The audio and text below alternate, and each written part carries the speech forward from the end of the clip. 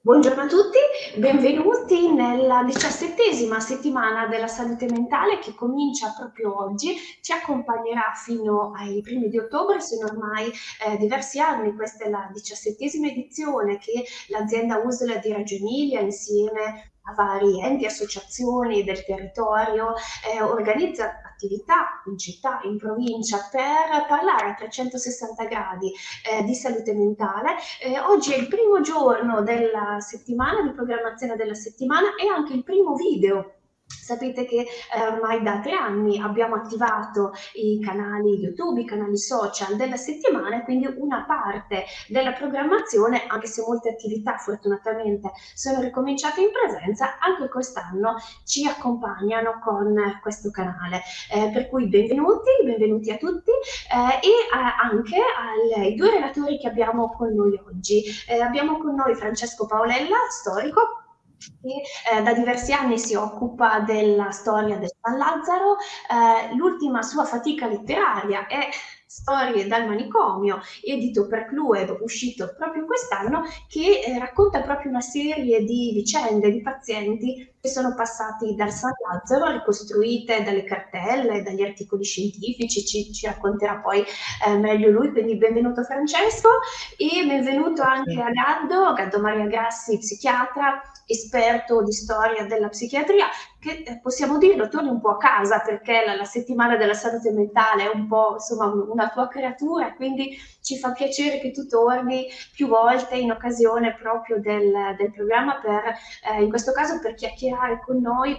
del libro di Francesco, ma poi eh, sarai presente anche in altri eventi. Ricordo anche che eh, giovedì ricominciano le dirette di Storicamente, quindi torniamo sul canale YouTube e Facebook della Biblioteca Libi. Eh, io vi ringrazio per essere qui con noi per parlare appunto del libro di Francesco e eh, lascio la parola a voi per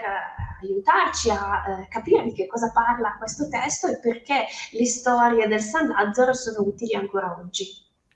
Grazie Chiara, sì, mi fa sempre molto piacere partecipare alla settimana della salute mentale, eh, naturalmente non creatura mia, ma di opera collettiva veramente di, di, tante, tante persone in tutti questi anni. Il fatto che sia la diciassettesima edizione conferma che sono tante le persone che si sono dedicate. Allora, e, e oggi fa, sono contento di, di, presentare il libro di, di Francesco Paolella. Come dicevi, eh, storico e, e, anche redattore della rivista sperimentale di, di Fregnatria, a sua volta storica rivista. Eh, per chi, ma penso che molti conoscano la, aspetti anche per sommi capi la storia di San Lazzaro, partiamo dal, dal San Lazzaro, quindi partiamo da un'istituzione molto importante non solo per la nostra città, ma molto importante per la psichiatria italiana, in particolare negli anni di fine Ottocento e di inizio Novecento, quando il San Lazzaro, sotto la direzione in particolare di Tamburini, era assolutamente una delle, delle realtà della psichiatria italiana, allora fregnatria si chiamava, ma delle realtà più importanti. Ecco, Francesco Paolella ci, ci presenta nel suo libro eh, un... Francesco, come dicevi, ha già scritto, eh, ha già collaborato a diversi testi sulla storia di storia della psichiatria e in particolare conosce molto bene l'archivio del, del San Lazzaro proprio perché non è la prima pubblicazione eh, di questo tipo. Questa è una pubblicazione, si tratta di un libro molto agile nella lettura, accattivante anche, ma che, eh, che, poi stimola anche molte riflessioni, riflessioni sicuramente sul, per quel co, perché permette di comprendere qualcosa dell'istituzione San Lazzaro di una volta, anche degli scambi interistituzionali, dietro, no, sullo sfondo della, del, delle storie dei pazienti, ma soprattutto è un libro che ci restituisce eh, appunto l'umanità, ci restituisce la, la, la, la, vivacità delle vite che in qualche modo si contrapponevano o in qualche modo dovevano convivere con un'istituzione come quella dell'ospedale psichiatrico. Ecco, Francesco riesce, è riuscito a mio avviso a, a rendere questo. Ma allora partiamo però dalla, dalla, partiamo dall'inizio e chiedevo chiedevo a, a, Francesco mhmm, come è nata in primo luogo l'idea no, di questo libro, di questo libro eh, con eh, le biografie, alcune veramente molto molto interessanti, di alcuni eh, fra i tantissimi eh, ricoverati in San Lazzaro. Sì, eh, innanzitutto grazie per l'invito. Eh, è un problema, diciamo così, una domanda solo apparentemente introduttiva, perché andiamo invece proprio già subito un po' al cuore del, di quello che ho cercato di fare, insomma, di questo lavoro anche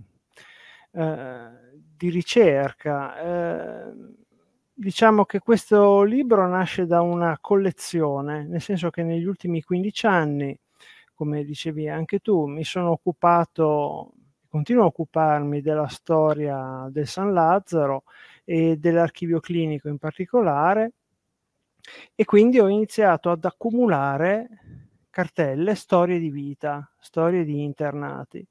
Eh, a un certo momento ho pensato di metterle insieme. Ora, eh, questa operazione da un certo punto di vista è molto banale, molto semplice, no? uno potrebbe pensare, beh, hai voluto fare una, la solita galleria di tipi strani che si mettono, eh, insomma, come si faceva soprattutto una volta. Eh, invece ho provato a, a riassumere attraverso queste biografie scelte, diciamo così, quasi per caso, nel senso che sono come emerse per, ognuna per un motivo diverso, fra le tante che avevo appunto conosciuto in questi anni, ho provato a fare, a fare che cosa? A mettere un po' alla prova le mie, prima di tutto le mie conoscenze su un'istituzione così importante, così incombente come San Lazzaro. E in che senso mettere alla prova? Nel senso di vedere se la storia dell'istituzione, la storia della psichiatria, così come la, la conosciamo, come molti di quelli che ci ascolteranno conoscono, possono studiare, eh, diciamo così, funzionasse. Eh, per mettere, diciamo così, per verificare sui casi concreti, sulle singole storie, come funzionasse, come eh, andasse avanti questo meccanismo fatto appunto di internamento, di diagnosi, di cura, tentativi di cura, eccetera, eccetera non si tratta neanche in senso stretto di biografie, nel senso che partendo dai dati delle cartelle cliniche, laddove è stato possibile, ho cercato un po' come eh, i, i, cerchi nello stagno, no? di allargare il campo e quindi di collegare le informazioni che si potevano ricavare dall'archivio, da questo archivio con altri archivi, informazioni di altri tipi di istituzioni, dai tribunali, eh, gli archivi militari, l'anagrafe dei comuni, eccetera, eccetera. E quindi qual, era, qual è stato l'obiettivo? Quello di far emergere tante le diverse singolarità, cioè eh, non tanto costruire una biografia, quindi arrivare alla, cioè, re, realizzare una, la verità di una vita, diciamo così, di un'esistenza, ma semplicemente vedere, provare a collocare l'internamento con quello che ha significato in termini di sofferenza, di abbandono, eh, di frustrazione, di rabbia, eccetera, eccetera, di una persona nella sua vita, nel passato e nel futuro della sua esistenza. E quindi da questo punto di vista l'obiettivo è un po' quello di eh, non eh, confinare il malato alla sua malattia, nella sua malattia. Eh, ancora di più, quindi non ho fatto una storia del San Lazzaro, non ho fatto una storia di diagnosi, ovviamente la questione della diagnosi che si trattasse di un'isteria, della paranoia, insomma di tutte quelle quei termini anche che chi ha seguito, chi segue incontri, eh, anche le, le, attività online della biblioteca ormai conosce, eh, sono importanti ovviamente perché rappresentavano un po' il marchio in un certo qual modo, comunque pesavano molto sul destino di una persona, ma non, il mio obiettivo è stato quello di non vincolare, la, ancora come dicevo prima, la, quella esistenza, quel profilo, quelle tracce di vita alla diagnosi, alla malattia. E, e quindi cosa emerge da questo lavoro? Da un lavoro che è ancora in divenire, ovviamente, perché ci troviamo di fronte a un archivio immenso, una vera miniera che non, non, non si, ancora non conosciamo completamente, nel senso di non possiamo sapere che cosa c'è dietro l'angolo, eh, perché ogni storia evidentemente ha sé. Ho cercato di mettere un po', eh, di mettere un po' in gioco gli elementi che caratterizzano da sempre un po' anche l'idea che la ricer- i ricercatori, la storiografia ha dei, eh, degli internamenti manicomiali, soprattutto quelli dell'età d'oro dei manicomi, e quindi l'equazione, ad esempio, manicomio, marginalità, povertà, sono dati come elementi, devianza, no? come elementi essenziali. Però invece, poi vedremo se mai dei casi particolari, ogni, davvero ogni storia a sé va valutata per quello che è, insomma, per quello che può eh, rappresentare. E quindi ri- bisogna sempre, e questo è lo sforzo secondo me più importante, più interessante, recuperare come quello che si chiama il significato sociale della malattia, nel senso di considerare che il peso che la malattia, la malattia mentale ha sulla vita delle persone e mh, però anche vedere in che modo le persone nel loro contesto e con le loro forze reagiscono a, alla malattia. Eh, sì, eh, hai ragione. E hai detto, come hai detto, la tua ricerca è andata anche al di fuori dell'archivio del San Lazzaro, anche per cercare informazioni su pazienti che potevano essere stati dimessi o comunque anche da altre fonti. Per quel che riguarda la fonte, però principale, naturalmente, sono le cartelle cliniche. E le cartelle cliniche, e ti chiedevo in primo luogo se sono, come dire, oggi noi abbiamo presente una cartella clinica ospedaliera odierna, ma quelle dell'epoca erano diverse e contenevano anche tante altre informazioni. Una cosa, fra queste informazioni, eh, una cosa che mi ha interessato molto erano proprio quelle di prima mano del, eh, dei, dei, pazienti ricoverati, no? cioè lettere di, di, dei pazienti ricoverati. Ecco, ti chiedevo anche, anche questo, cioè il, perché scrivevano, che cosa scrivevano, che cosa era la, la, perché mettevano su carta i loro pensieri, quelli che sapevano scrivere, perché giustamente, come dici sì, anche sì. nell'introduzione del, del, libro, teniamo presente che eh, San Lazzaro, come tutti i manicomi, aveva delle classi, aveva delle classi di ricovero che coincidevano con le classi sociali, chiaramente solo non tutti erano, eh, erano alfabetizzati naturalmente. Certo, eh, sicuramente gli autografi dei malati eh, in alcuni casi anche delle vere o dei tentativi comunque di autobiografia sono fra, le, fra i documenti delle cartelle quelle che colpiscono di più anzitutto quando chi prende in mano i documenti. Eh, eh, anche questo è un tema molto complesso. Diciamo che io mi, mh, mm, cerco sempre di ricordarmi una cosa, prima di tutto, che le cartelle cliniche esistono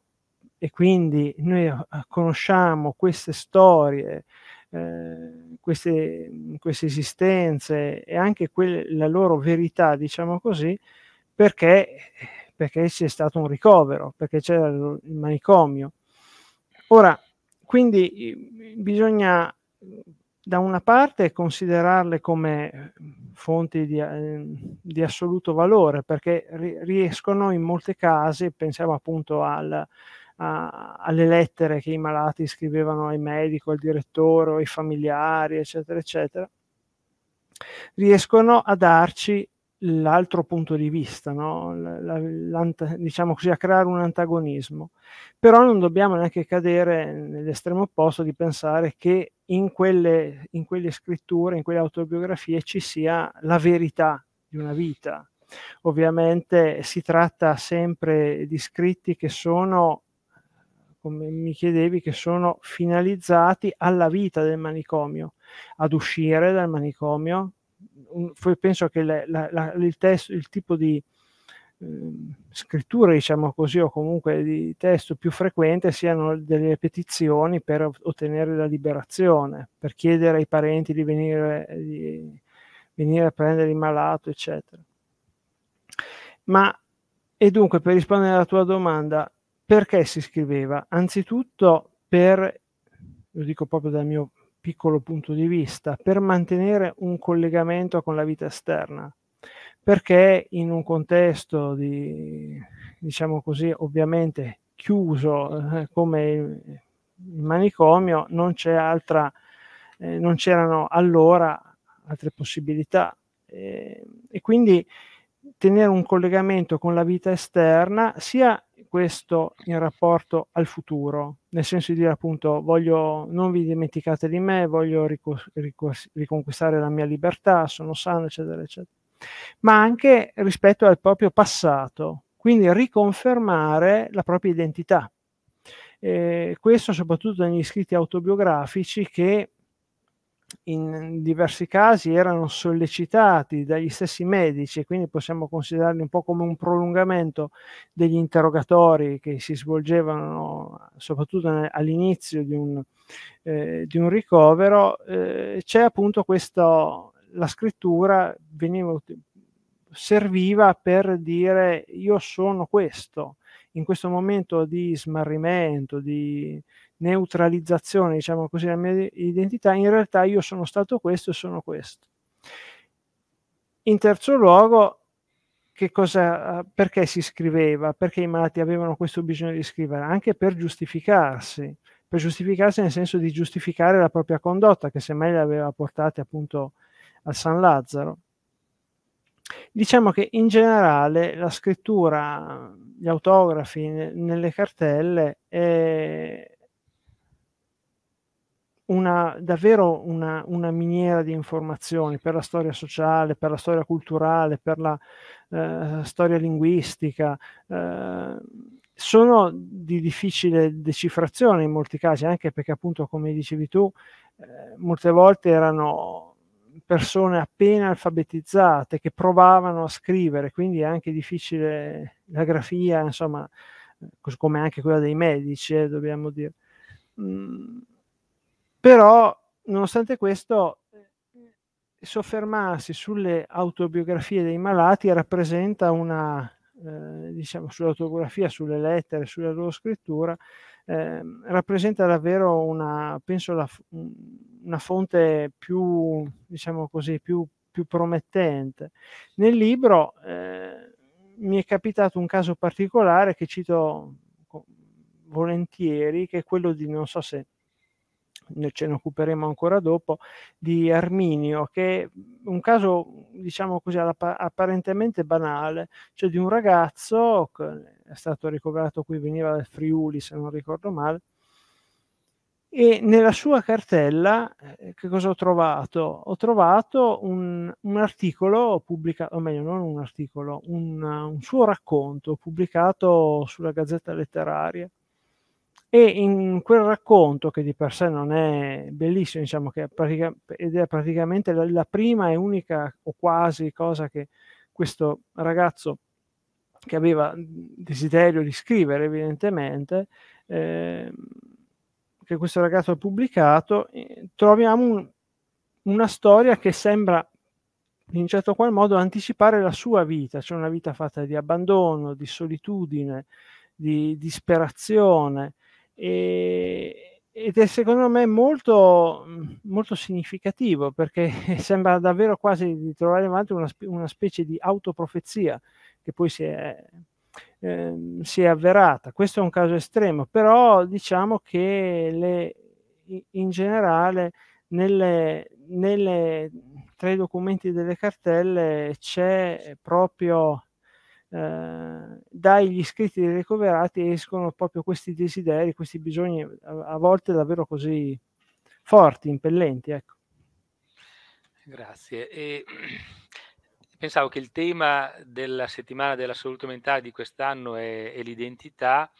e parliamo di una psichiatria che in quegli anni era alla ricerca di un'identità, non forse lo è ancora adesso, ma comunque in quegli anni cercava di definire la sua eh, la sua identità e la sua funzione sociale. Eh, peraltro il, le cartelle oggetto del tuo studio si riferiscono agli anni, dagli anni 70 quando iniziò la, la tenuta delle cartelle cliniche in San Lazzaro e alla, agli anni, fino agli anni 40-50 quando eh, diciamo per il rispetto della privacy fino al, al, tempo in cui si può, si può appunto eh, esaminare le, le cartelle cliniche. Ehm, da questo punto di vista eh, c'è un caso che, che mi è interessato molto e che è il caso di Adele, che perché mentre in quegli anni già appunto il lavoro dello psichiatra consisteva nel definire, no, in quella definizione di confine fra la salute e la malattia, soprattutto in ambito, ad esempio, criminologico, sono gli anni dell'antropologia criminale, sono gli anni, ma insomma gli psichiatri diciamo, ci tenevano parecchio a, a far sì che gli, gli, venisse chiesto un parere e che il loro parere scientifico potesse dare una patente di normalità normalità. In questo caso di Adele, di cui ti chiedevo di, di, di dirsi qualcosa, eh, era ancora più delicato perché non si trattava di, di realtà o di delirio, si trattava di, eh, di distinguere fra visioni mistiche e quindi un aspetto che chiamava in ballo nell'Italia laica di fine Ottocento, ma aspetti comunque di credenza religiosa o di credenza popolare, e invece la malattia, e quindi un confine ancora più eh, difficile, ancora più delicato. Eh, e ti chiedevo appunto di, di, inquadrare un po' questo caso e anche magari appunto la, il ruolo no, degli, degli psichiatri all'epoca. Sì, la storia di Adele sicuramente è, posso dire che è quella più evocativa rispetto a quelle che ho trovato, nel senso che si inserisce proprio in un momento in cui la psichiatria, come dicevamo, è, sta cercando di ritagliarsi un ruolo eh, ideologico, sociale, eh, confrontandosi con eh, un, diciamo, quello che poteva essere o che sarebbe potuto essere un suo antagonista, cioè la Chiesa. E la storia di Adele è di per sé molto semplice, una ragazzina, una bambina che in, un, in una zona, in un posto vicino a Castelnuovo Monti, eh, dice di vedere una figura che viene subito a, riconosciuta, diciamo così, dal popolo, dagli altri, come la Madonna. E per questa visione, per queste visioni, finisce in manicomio, in osservazione. Eh, perché finisce, viene inviata direttamente dalla prefettura, ma per ragioni, diciamo così, non tanto per, eh, per stabilire l'origine di queste visioni, diciamo che all'autorità politica non interessava tanto quello, perché non era la questione, interessava che il caso su, su in montagna, nel nostro Appennino, non si sgonfiasse e quindi tenerla lontana e in un posto dove poteva essere, diciamo così, tenuta a bada anche dal punto di vista delle, appunto, delle conseguenze, eh, era quello che importava. Eh, Adele infatti viene inviata, mi ricordo proprio il documento con cui la prefettura invia, chiede a, a, a San Lazzaro no, di occuparsi eh, del suo caso, viene definita immediatamente come piccola isterica, quindi non era, non era da, nemmeno più da di, discutere delle, dell'origine di, quelle, di queste visioni, di queste allucinazioni. E, è importante questa storia perché appunto la psichiatria, come dicevo all'inizio, cerca di rendersi protagonista anche nel dibattito culturale, scientifico e politico e, e lo fa, eh, diciamo, facendo che cosa? Eh, individuando una sfera di competenza. Quindi ciò che fino nei secoli mhmm, bui, diciamo anche più recentemente, insomma, era stato di dominio della Chiesa, della religione, dei teologi, cioè tutto ciò che non, che non è visibile, che non è naturale, eccetera, eccetera, deve essere ricondotto, neutralizzato e ricondotto al campo della, eh, della materia, insomma, delle, delle forze organiche. Ecco, non dobbiamo però credere che la psichiatria fosse fatta tutta di spietati, anticlericali, no? Mm, fra l'altro è uscito eh, proprio in questi giorni un libro di cui se mai avremo occasione ancora di parlare, no? edito da Unicopli di Gabriele Piretti, che si occupa proprio di, penso sì, se non ricordo male si intitola Il Santo in manicomio, che è molto interessante perché pone anche la storia di Adele, eh, nel, su cui è stato scritto anche sulla nostra rivista di freniatria, no? nel, nel campo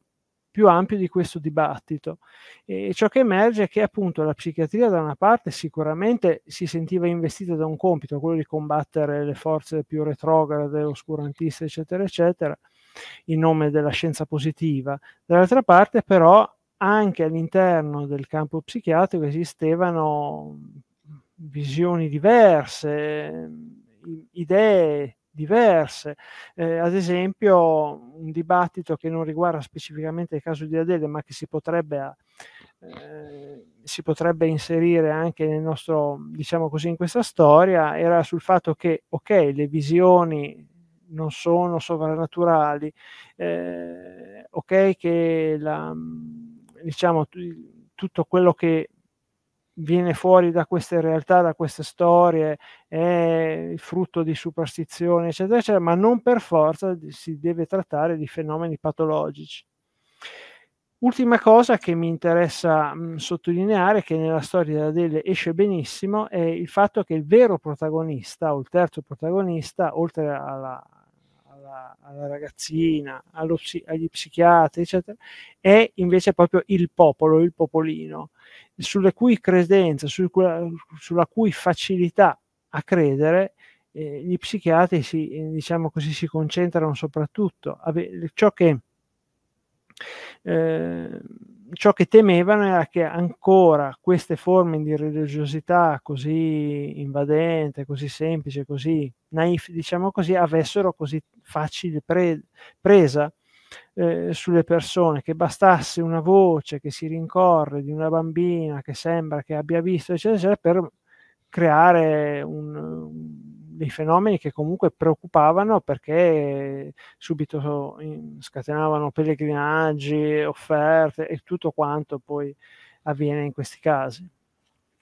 Certo, e c'è un altro dei casi che se non sbaglio riguarda il libro del comando che eh, a proposito di, di, no, di quanto no, la suggestione, la credulità potesse poi innescare fenomeni di questo tipo, no? eh, è abbastanza esemplificativo ed è un altro dei casi del libro. Invece un'altra, un'altra delle protagoniste del, del, delle tue storie appunto è Dorina. Eh, e Dorina ci rimanda, Dorina ha una, mh, invece ha una funzione molto chiara del manicomio e, ed è sostanzialmente eh, la funzione di eh, controllo sociale su comportamenti che Mhmm, diciamo, hanno a che fare, possono avere a che fare con la psichiatria, ma che poi trovavano nel manicomio una, una, risposta. Non dimentichiamo che nel 1904 la legge Giolitti definirà proprio l'internamento per, per le persone, per i malati psichici, eh, se, di, eh, risultavano, quando risultavano di pericolosi per sé e per gli altri di pubblico scandalo. E nel, nel, tuo testo ci sono diverse situazioni eh, di, di, scandalo, no? o comunque nelle quali eh, molto, molto semplicemente, molto evidentemente, no? Un figlio di un senatore della Repubblica, un sacerdote, insomma, quindi lo scandalo può essere legato anche alla, alla, al ruolo sociale del, del, del paziente o della sua famiglia. Eh, ecco, ti chiedevo del caso di Dorini, perché poi è una storia che dura tanto no? e che non ha peraltro sua, il suo epilogo in manicomio, a differenza di tante storie nelle quali il manicomio comunque è poi il, il contenitore finale per conto della società, della, della follia in alcuni casi o della devianza, in questo caso invece Dorina poi ha una storia non certo serena ma, ma fuori anche. Sì, è una storia che per, diciamo così, in estrema sintesi, poi vi spiego anche perché, eh, mi ha fatto pensare subito quando l'ho conosciuta proprio al piano inclinato. C'è una ragazzina, una bambina che nasce in una famiglia problematica, eh, dove ci sono padre alcolista, sono, quindi comunque con tanti fratelli, una famiglia con tanti problemi che finisce eh, a San Lazzaro molto presto, eh, viene, viene, inserita quindi nella colonia scuola eh, al Marro, cioè diciamo così per cercare di recuperare un po' eh, la, soprattutto dal punto di vista del, della condotta no, caratteriale, come si dice. c'è una prima, c'è una liberazione eh, e poi Dorina inizia a fare dentro e fuori dalle tante istituzioni ancora il manicomio, le prigioni, finisce anche in, in manicomio criminale. E perché? Perché appunto, come dicevo, la sua vita è segnata da prima dei furti, poi la prostituzione clandestina e poi un tentativo di omicidio, quindi è sempre e la, queste, diciamo, tutte queste entrate, uscite in carcere, eccetera, fanno proprio pensare ad un, ad un destino segnato e come queste istituzioni fossero nonostante i tentativi fossero di, anche di emendazione, come si diceva una volta, no? fossero, eh, diciamo, nonostante questi tentativi, alla, alla fine per due non ci fossero che l'internamento, non ci fosse che la reclusione, proprio perché, diciamo così, la, queste sue esuberanze che finirono anche per farla diventare un piccolo personaggio buono per la stampa locale, no? diventata la bella Dorina, nel senso che era evidentemente eh, poi conosciuta chi seguiva le cronache delle, delle preture, dei tribunali. Eh, insomma, non, non, non, c'è, non, c'è, stato modo di, di prenderla in carico, come si dice, diversamente. In quel contesto evidentemente eh, aveva anche senso così, nel senso che appunto la, la legge, la legge Giolitti parla espressamente di, di, pubblico scandalo e la sua vita è stata proprio segnata da, continua, da un continuo scandalo, indubbiamente. E, ed ecco l'ultima cosa secondo me interessante che anche ha proprio legato a questo che la storia di Dorina ripropone bene questa antinomia di cui abbiamo parlato tante volte perché è fondante dell'istituzione come il manicomio, per non dire poi dei manicomi criminali, no? l'antinomia fra cura e custodia anche a rileggere la sua cartella clinica questa doppia ten- questa tensione, diciamo, questi due poli, mettendoci anche a fianco la, la, la, la parte pedagogica negli anni di internamento del Marro, è, è molto forte e quindi eh, evidentemente questa contraddizione non, diciamo così, nel suo caso si vede bene che non poteva essere risolta. Certo, come peraltro credo il manicomio non risolvesse anche in tanti casi, soprattutto quando la, la funzione di controllo sociale di custodia era così eh, marcata. Eh, ti chiedevo un'ultima cosa, il, il libro è, sono storie, no? storie di persone e, e, ehm, e quindi la, la, la, ogni, ogni singola persona emerge emerge in modo molto netto, molto distinto. Eh, però i protagonisti, i protagonisti sono due in realtà, la persona ma anche l'istituzione, il manicomio, quello che è dietro, no? è dietro sua, il suo ricovero, la sua istituzionalizzazione. Eh, Franco Basaglia diceva che il manicomio era un luogo costruito per il completo annientamento dell'individualità, come luogo di totale oggettivazione dei pazienti e sappiamo che è stato anche coniato il termine, una diagnosi, no? fra le tante diagnosi ne mancava una e quindi la diagnosi di sindrome da istituzionalizzazione perché di fatto era un agente poi patogeno evidentemente il manicomio stesso. Ecco, ti chiedevo eh, in fondo in questa, no? eh, in, in, come vedi anche in fondo queste storie alla luce di questo, un po' di questa contrapposizione, in fondo erano storie dalle quali traspare una, un, un, chi le legge sente no? Il, l'individualità, sente l'individuo che riesce a in qualche modo a mantenere una sua, una sua identità, ma forse non era nemmeno la, la, la non era nemmeno nella maggior parte dei casi che questo avveniva. Ecco, non ti dico chi,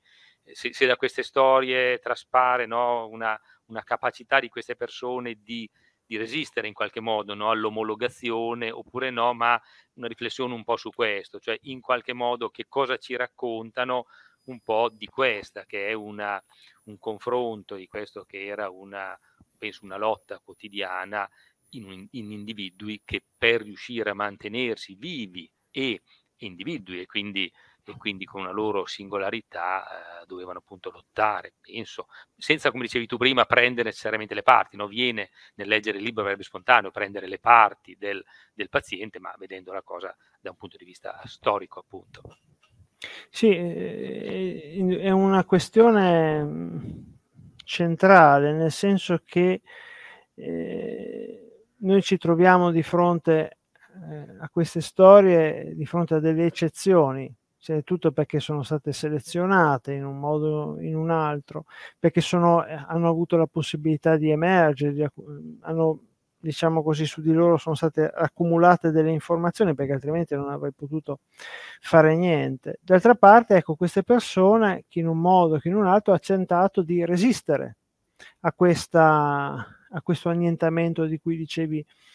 di cui dicevi prima. Ha tentato, però eh, non sarei molto ottimista, diciamo così, da, da, da, questo punto di vista, perché si tratta comunque di una perdita, cioè l'internamento di per sé in un'istituzione come questa eh, segna comunque una, appunto una perdita rispetto a ciò che, eh, a ciò che l, quelle esistenze avrebbero potuto eh, avrebbero potuto, avrebbero potuto essere. Eh, e dunque questo schiacciamento no, della, dell'individualità pesa moltissimo. È vero che il vero protagonista, anche se rimane, è ovviamente il meccanismo di, dell'internamento. È vero il, il protagonista del libro è il manicomio con i suoi meccanismi, con la sua burocrazia, eh, con i suoi ritardi. Eh, non secondo me è altrettanto vero e giusto che non ci troviamo di fronte ad, una, ad un luogo di torture. Questo bisogna, un po' un, è un pregiudizio che bisogna continuare a sfatare. I medici che lavoravano qui davvero pensavano di contribuire a, a, a pensavano di aiutare quelle persone ricche o povere che fossero, eh, giovani o anziani, insomma, eh, intellettuali o analfabeti, pensavano che il loro ruolo fosse davvero quello di eh, portare a, una possibile, innanzitutto a evitare guai peggiori, diciamo, no? essendo appunto quello, quel mandato di, della psichiatria di cui dicevamo prima, ma anche appunto attraverso anche proprio questa normalizzazione a arrivare ad una possibile guarigione. I dati, i dati la storia ha detto che evidentemente non era, eh, non era così e quindi secondo me la, eh, l'importanza ecco, di lavori diciamo così, o soprattutto di continuare a, a frequentare gli archivi come questo è proprio quello di continuare a mettere un po' eh, in questione i meccanismi che sono alla base della, eh, della cura in generale, nel senso che bisogna proprio tenere ben presente eh, che attorno e vicino alle persone eh, sofferenti c'è comunque cioè diciamo che le persone che, che, soffrono sono persone, insomma, e quindi questo è un po' quello che ho provato a fare. Grazie Francesco. Allora, eh, io direi che possiamo concludere questa, questa chiacchierata eh, a proposito di storie dal manicomio. Come dicevi, proprio eh, è la, come scrivi anche nel, nel, tuo, nel tuo, libro, si tratta conf- dell'irriducibilità dell'essere umano a fronte di una delle istituzioni che nella storia del, del, del recente, diciamo, la storia moderna, la storia dell'uomo, ha avuto comunque un peso enorme e che ha anche ancora oggi in molti, in molti paesi. Chi lo leggerà troverà delle storie assolutamente affascinanti, assolutamente credo interessanti, a volte proprio perché appartengono a epoche storiche diverse, ma soprattutto troverà invece quello che dicevi, cioè delle persone, degli individui e le loro storie in confronto e nella, nella loro sfida con la società dell'epoca da un lato e con le istituzioni, con l'istituzione manicomiale, ecco, da, le, le loro, la loro sfida ecco, e, e, credo ci, è fonte di riflessione ancora oggi, proprio perché poi i temi con tutte le dovute differenze, poi li possiamo ritrovare. Queste stesse persone in fondo sono persone nelle quali un po' eh, dire, che si possono riconoscere ecco, come, come, come, esseri umani ancora oggi, con i loro bisogni e con le loro risposte alla, all'istituzione. Io ti ringrazio e eh, direi salutiamo chi ci, ha, chi ci ha ascoltato e rimando a questo punto alle altre iniziative della settimana della salute mentale che si è aperta oggi e che proseguirà nei prossimi giorni. Arrivederci a tutti. Grazie.